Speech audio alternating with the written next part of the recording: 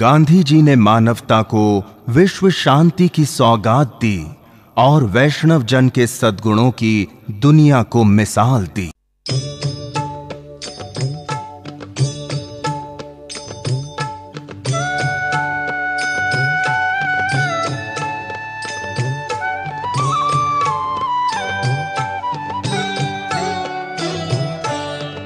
वैष्णव जन